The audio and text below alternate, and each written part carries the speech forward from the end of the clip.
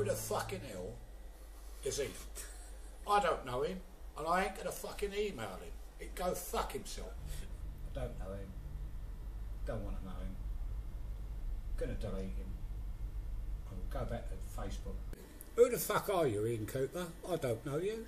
I don't want to know you. My son knows you. I don't love you, and I'm not going to pay your rent next week. There I am. It's my night off. It's Wednesday night. I've got this fucking prat, Ian Cooper, who I don't know. Do I know him? No, I don't know him. He knows me. I don't know him. Is he married? I don't know.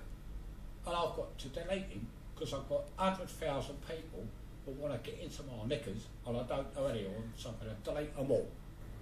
Ian Cooper, I do know him. He's a lovely lad. I know his wife. He really is a nice lad, and he's welcome to come and see me anytime he likes, as long as Ben ain't here. What the bloody hell is it about Facebook? I smoke, they don't smoke. Why should I tell them not to smoke? If I tell them not to smoke, the government's going to go down the pan. On that note, I'm going back to Facebook because I've got to delete about 300,000 people. Good night.